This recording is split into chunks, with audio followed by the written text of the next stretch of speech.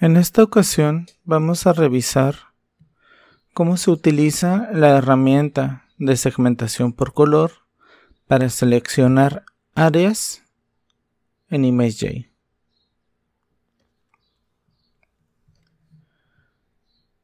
Comenzaré abriendo una imagen.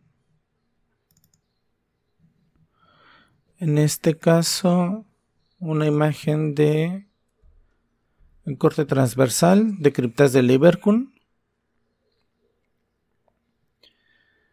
Para, para empezar, antes de utilizar la herramienta de segmentación a color, hay que tener en cuenta que solo es apropiado utilizarla, o más bien, solo es conveniente utilizarla cuando tenemos estructuras en una fotomicrografía de un corte histológico con colores muy contrastantes.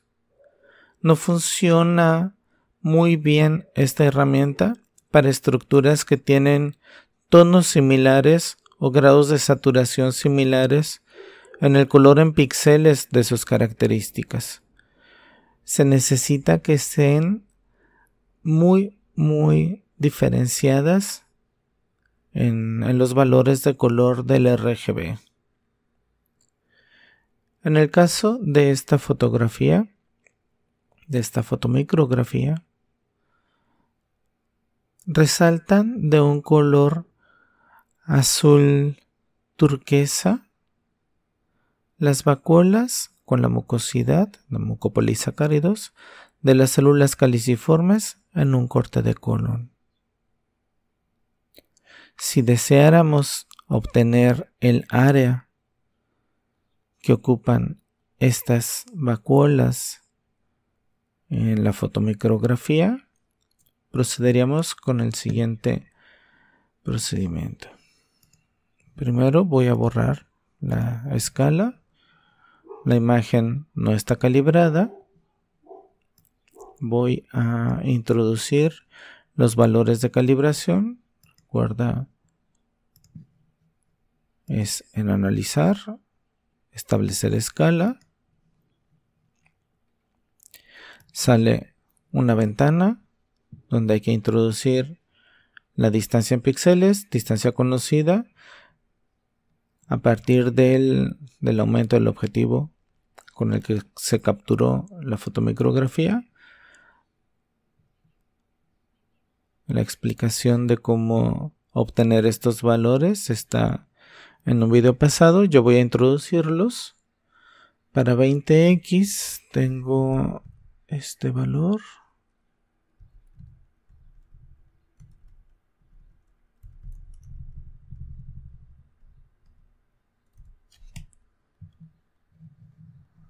A ver, no me da.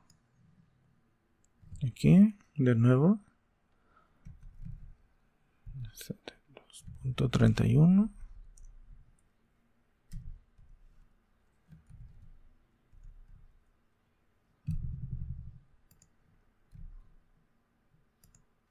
Ok. Entonces, una vez que introducí los valores de calibración, ya aparece el alto y el ancho en píxeles, aquí a la derecha, y en micras del lado izquierdo. La herramienta de segmentación de color se encuentra en imagen, ajustar y segmentación de color. Se hace clic y aparece esta ventana. En ImageJ, por defecto, aparece tono, saturación y brillo, que es el espacio HSB. También se puede escoger en RGB, rojo, verde y azul, o se puede escoger otros espacios de color. Normalmente se trabaja en RGB o se trabaja en HBS. Bueno, HSB. En tono se puede mover esta barra de la izquierda y esta barra de la derecha para englobar el color que deseamos segmentar. En este caso, el tono de color de las células caliciformes en sus vacuolas va en estos colores azules claros. Un poco de azul más intenso agarro, un poco del verde. En saturación está seleccionado desde los píxeles más oscuros hasta los píxeles más eh, coloreados. Entonces, esto lo dejo de 0 a 255. Y en brillo está seleccionado también desde los píxeles más oscuros y voy a mover esta barra de brillo hacia la derecha hasta obtener una segmentación donde yo esté satisfecho que estoy cubriendo todos los píxeles azules que se encuentran adentro de las vacuolas de las células caliciformes. Como se observa en la imagen, no se selecciona en la parte interna toda la célula, puesto que la intensidad de la reacción de color no es la misma porque depende de la cantidad de mucopolisacáridos. Si yo muevo esta barra de brillo hacia la derecha, puedo llegar a seleccionar toda la porción interna de las fotografías, pero meto un poco de ruido de los píxeles de las fibras de colágeno que se encuentran aquí en la matriz extracelular. Un poco, algunos pequeños píxeles, no creo que me moleste mucho. Una vez que obtengo una selección de mi agrado en pantalla y que está marcada de rojo, puedo cambiar el color de la selección. Presionas las, la herramienta de seleccionar aquí. Se delinea un contorno alrededor de las zonas segmentadas y para obtener el área de cobertura es en analizar y medir o directamente con la letra M del teclado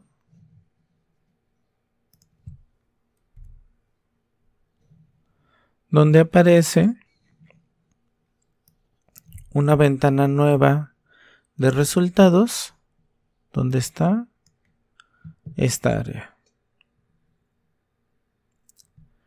Estos son micras cuadradas.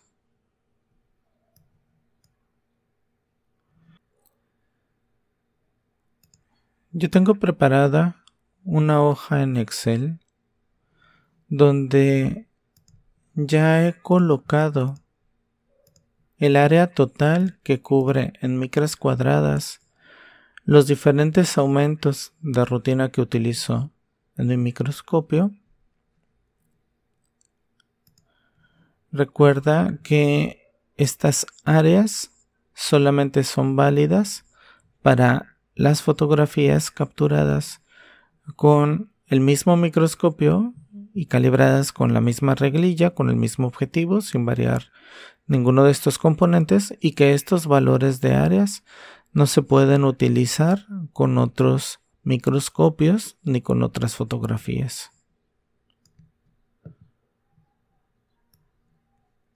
Esta área en micras cuadradas se obtiene multiplicando el ancho y el alto en micras de cada fotomicrografía ya capturada y calibrada. Entonces, me regreso al cuadro de resultados y yo había obtenido 66.132.012.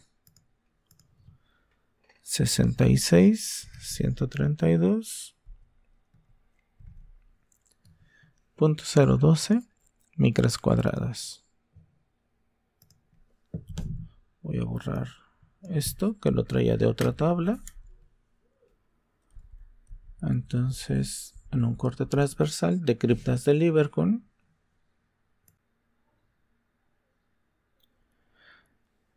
para obtener el porcentaje sería este por 100 las micras cuadradas entre las micras totales.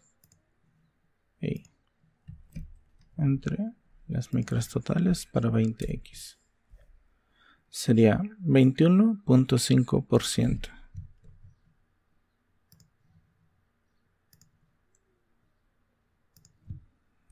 Vamos a otro ejemplo.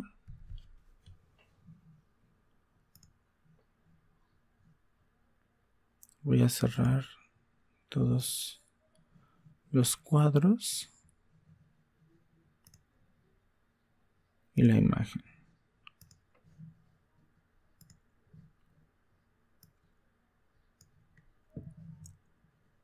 Abro una imagen nueva.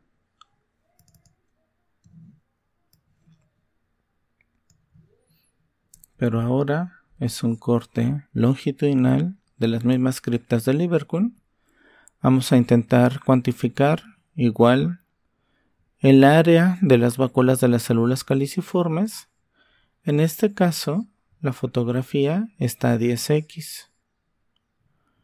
La calibración que está activa no es válida para esta fotomicrografía. Entonces, analizar, establecer escala y hay un botón que dice remover escala.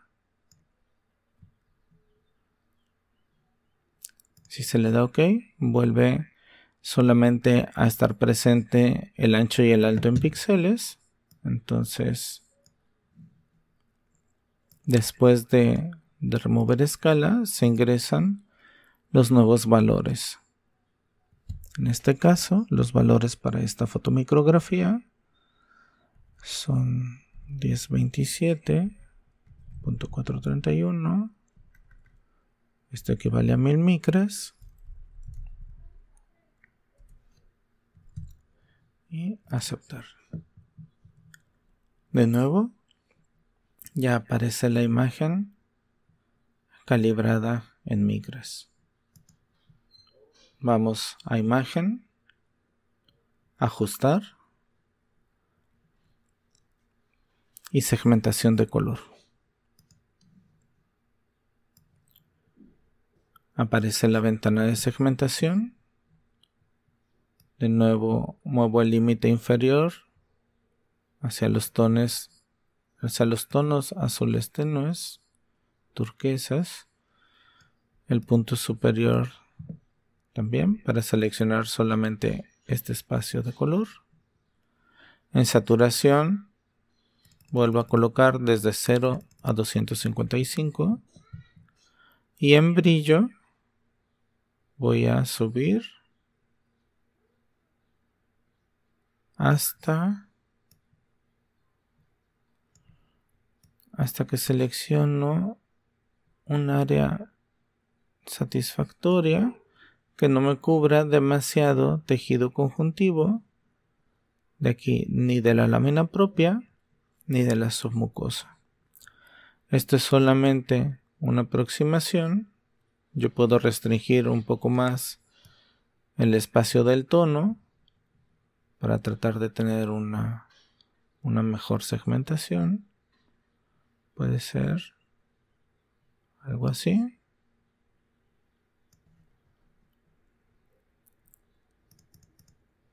Hay que controlar el espacio segmentado visualmente, que no se salga de control. Supongamos que,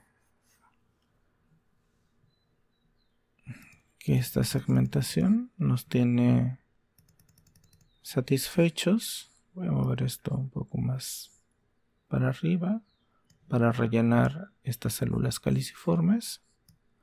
Es imposible en la mayoría de las fotomicrografías tener una segmentación perfecta, a menos de que solo haya un tono de color o haya solamente dos colores muy contrastantes y a pesar de eso el espacio blanco ocupado por la luz o el espacio blanco ocupado por los geles, los vasos sanguíneos, las luces de las glándulas va a interferir un poco con la selección automática. Pero bueno, En esta fotomicrografía ya está ocupado principalmente el área de las vacuolas de las células caliciformes. De nuevo, cuando estoy satisfecho con la selección, hago clic en seleccionar y en analizar, en medir o directamente en el teclado con la letra M. Aparece la ventana de resultados. Vamos a colocar este valor en Excel. Lo voy a pegar aquí abajo. Esto es el área. No necesito esto. En este caso fueron 93.737.822 micras cuadradas que para convertir esto en porcentaje sería igual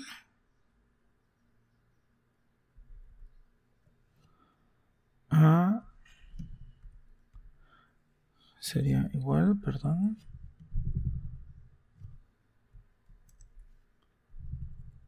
A las micras cuadradas por 100 entre el total a 10x.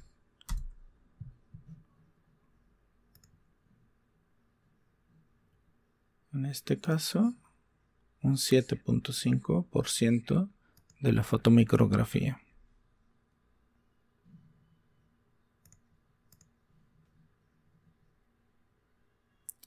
En otro ejemplo, vamos a cerrar todas las ventanas.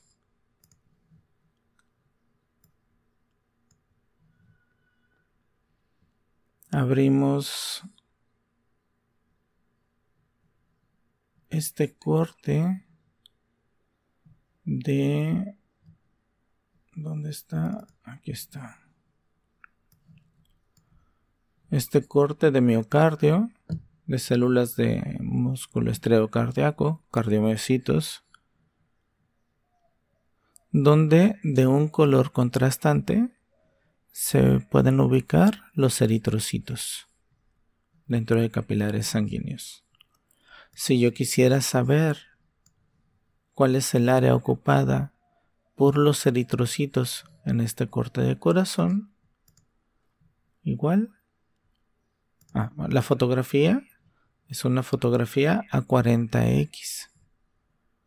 Entonces, primero debo de borrar la calibración en micras. Aquí va a desaparecer. De nuevo solamente tengo los valores en píxeles.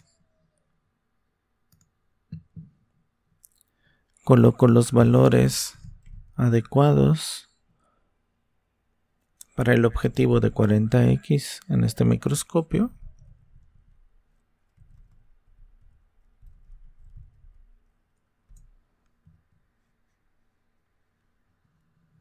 Una vez introducidos, ya me aparece recalibrada la fotomicrografía en micras. De nuevo en imagen. Ajustar. Y segmentación de color.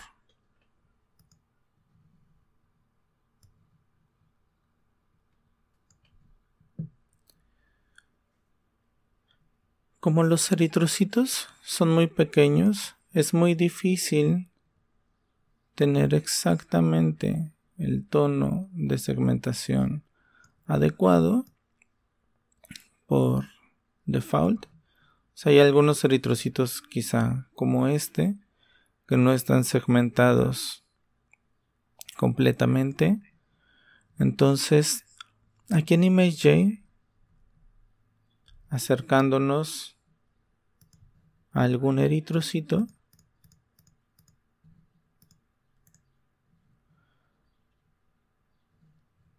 Podemos utilizar una herramienta de área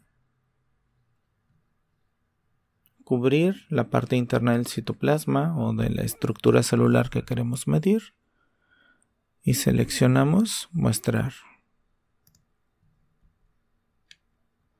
Al seleccionar muestrar, nos va a acercar los valores de selección, tanto de tono, saturación y brillo, a la célula que seleccionamos. Y a partir de este tono,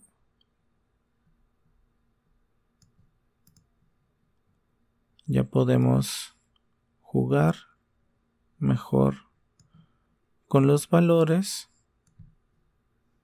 especialmente el de tono y el de brillo.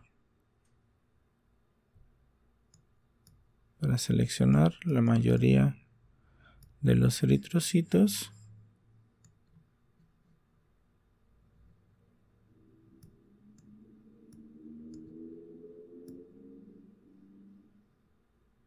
Algo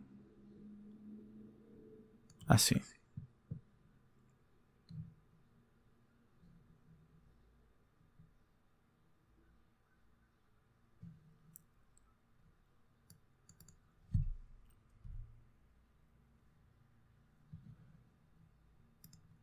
Ya que está la selección,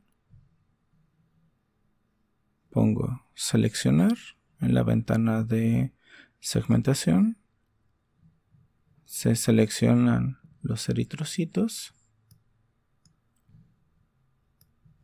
pido la ventana de resultados y coloco este resultado de área. 745 aquí no 745.056 Este es una aproximación a eritrocitos en miocardio. Entonces el valor porcentual es las midas medidas por 100 entre el área 40x total.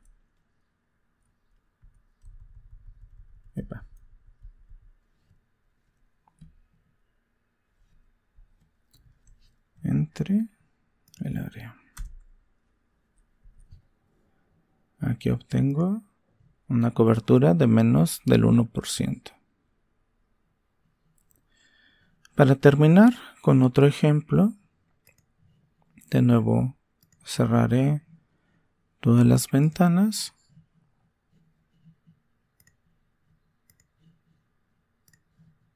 voy a cerrar Excel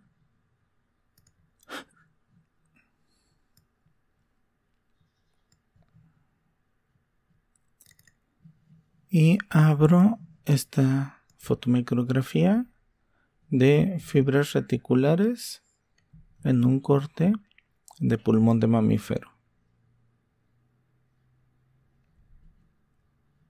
Debo eliminar la calibración. Ok. Solo aparecen micras. De nuevo pongo la escala. La imagen en este caso está capturada a 10 con el objetivo de 10x y son 1027.431 píxeles equivalen a 1000 micras doy a aceptar y aquí si quiero medir solamente el área ocupada por por las fibras reticulares, ya con mi imagen calibrada en micras. Me voy a imagen, ajustar, segmentación de color. Como las fibras reticulares son negras y el color de selección que estaba utilizando era el negro, lo voy a cambiar a rojo. Aquí el tono debería de correr por todo el espectro de color y voy a bajar el brillo para que con cuidado cuando esté realizando la selección solamente tenga de rojo ¿sí? que solamente esté seleccionada el área que está cubierto por la reacción de precipitación argéntica de las fibras reticulares. Saturación completa, tono completo, de 0 a 255. Y el brillo, aquí se quedó en 125 porque si corro todo a la derecha se va a seleccionar o a segmentar toda la imagen. Entonces me quedo algo así. Ya no se debe observar zonas oscuras. Hago clic en seleccionar. El relleno es muy negro. Presiono la letra M en el teclado y aparece el área. Voy a copiar.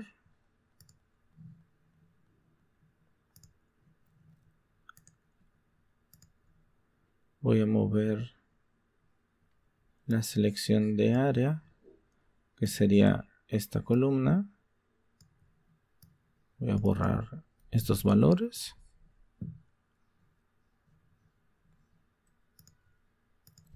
Y así podemos calcular el área que ocupan las fibras reticulares en un corte de pulmón a 10x sería el 8.2%. Vamos a poner presentable esta, esta hoja de cálculo. Colocamos retículas. Y de nuevo hacemos así. Estos son los valores en micras cuadradas de cada una de las segmentaciones y este sería su valor porcentual. De nuevo, este tipo de herramientas de selección solamente son adecuadas para fotomicrografías donde se ven zonas muy contrastantes. Por ejemplo, en este corte de hígado, donde se ve una vena central, hepatocitos y capilares sinusoides, quizá podríamos seleccionar el área por color rosado rojizo de los hepatocitos, pero no podemos por selección automática distinguir el área ocupada por los capilares sinusoides o por la luz de los capilares sinusoides de la luz de la vena central, porque es del mismo color, del mismo tono en valores RGB. En otra fotomicrografía, por ejemplo, en este corte de médula ósea de conejo, médula ósea roja.